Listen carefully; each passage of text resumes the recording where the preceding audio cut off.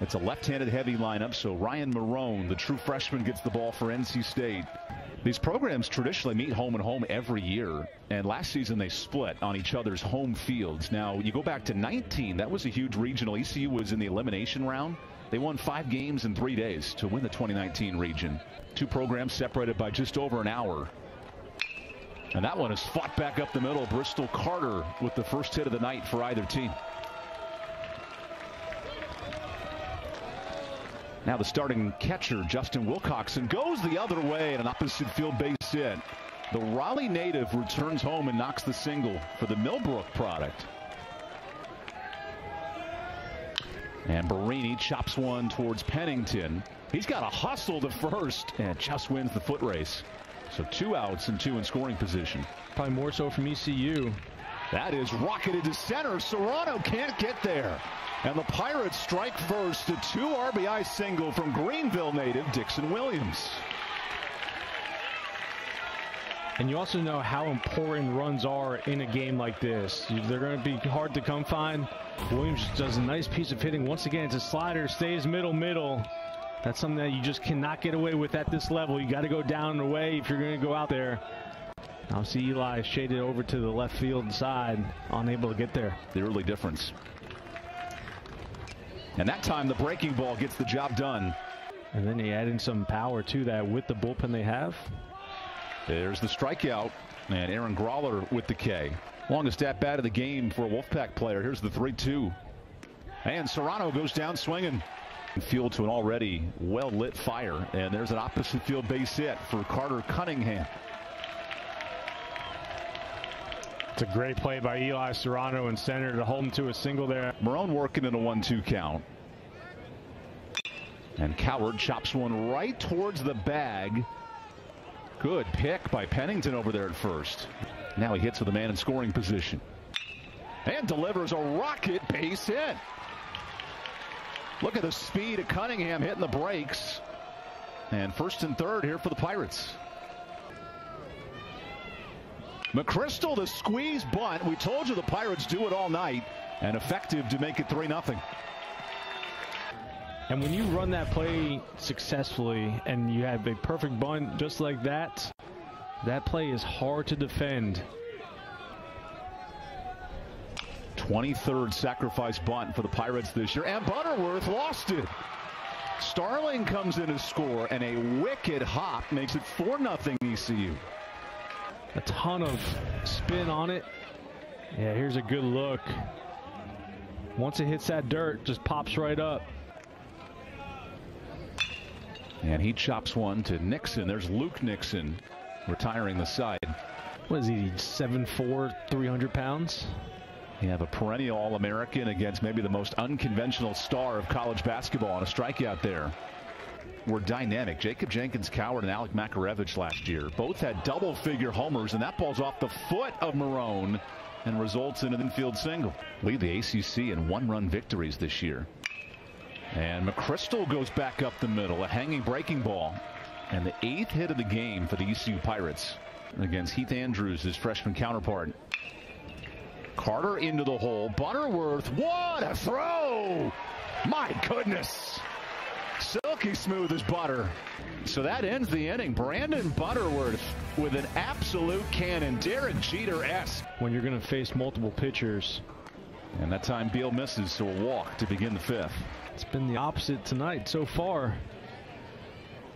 Serrano looks to change that with a base hit. And there's the first knock for the Wolfpack.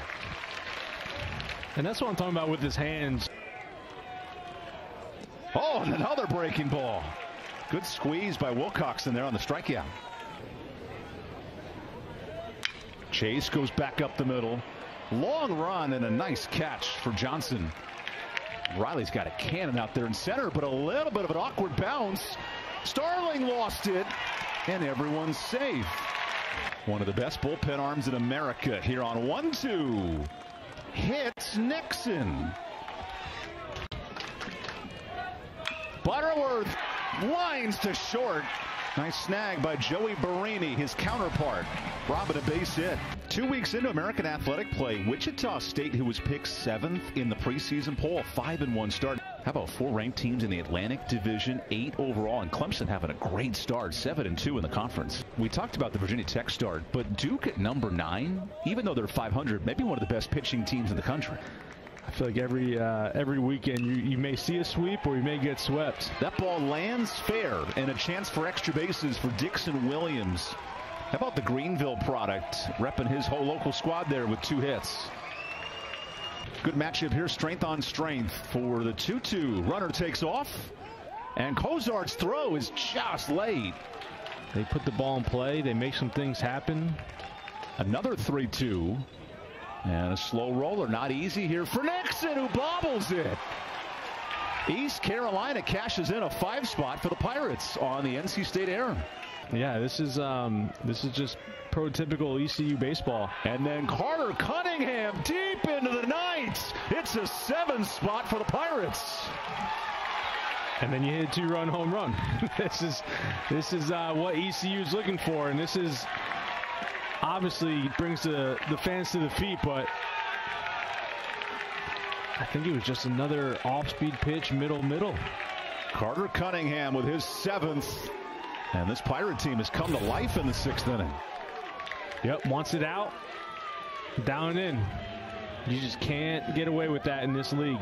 You can tell how much this matters to both programs. Top 25 matchup and an error three-run inning has helped fuel a 7-0 start. And Rockets a base hit. So Jenkins Cowart with his second hit, now hitting 360 on the year. Runner moving on the pitch. Cozart's got an excellent arm and a nice tag by Nixon. Pennington, five multi-hit games in the last two weeks. He rockets one to left center right on cue. Pennington kickstarts the rally. This Wichita State transfer cannot be stopped in the box. I'm telling you, the, the amount of barrels that this guy gets is is unbelievable. The 2-0 is left up, and Amac pops one up. That's a long run for Carter.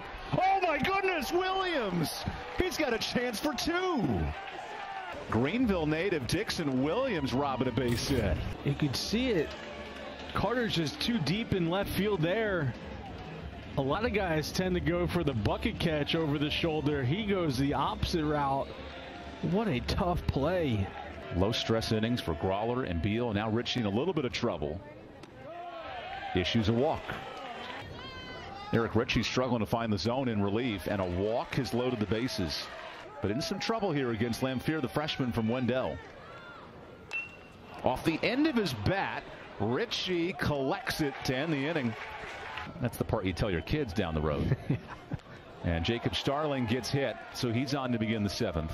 Yeah. And dominates, but then struggles against Georgia Tech the previous outing. Cozart with an excellent arm, and that's just late.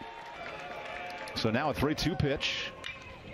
There's the ground out. Nice play. Heck of an effort from Pennington to knock it down and save a run. There's the first out. I'm going to sit fastball and, and adjust off speed.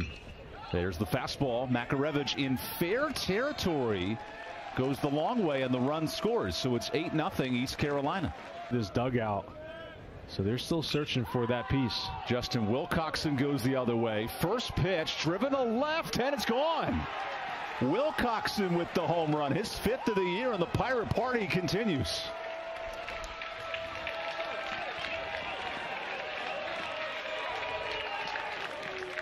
I'm going to sound like a broken record here, but once again, I think it's an off-speed pitch over the middle of the dish. These have been hit hard all night long by this ECU offense, and there you go. Slider, Cozart wanted down the way. He does not get it there. It's nine and one coming in. As Nixon gets hit. That Florida State team to get things rolling down there in Tallahassee. There's another hit by pitch, and Link Jarrett certainly figured things out quickly down there. Two on with nobody out. So the battle continues here on 3 2. Forces weak contact. Only play for Williams is in time. And he pops one up. Long way to go here. Oh, off the glove of Carter. So everyone's safe. Pennington will jog into second on the East Carolina mistake. That time a hard ground out, and there's the second out of the inning. It does bring home a, another run, though, for NC State. And swing right through it. The 3-2. Fastball again. Wyatt Lunsford Shankman climbs the ladder. Mississippi. Here's Winscott. Hasn't helped his control there. A walk. That's Hollis Fanning warming up. And then a base hit for Cunningham. So the runner holds. And first and second here for the Pirates. Cozart, the back pick, and it gets away. Pennington couldn't squeeze it. Another run comes in, and this is where East Carolina shines on the bases. Jenkins Cowart sitting pretty in a 3 0 count. Oh. Starling the other way with a base hit. It's a double figure run scoring night for the Pirates. And here comes JJC in to score. Two in on the double from Starling. 4 0 early, have taken advantage here late.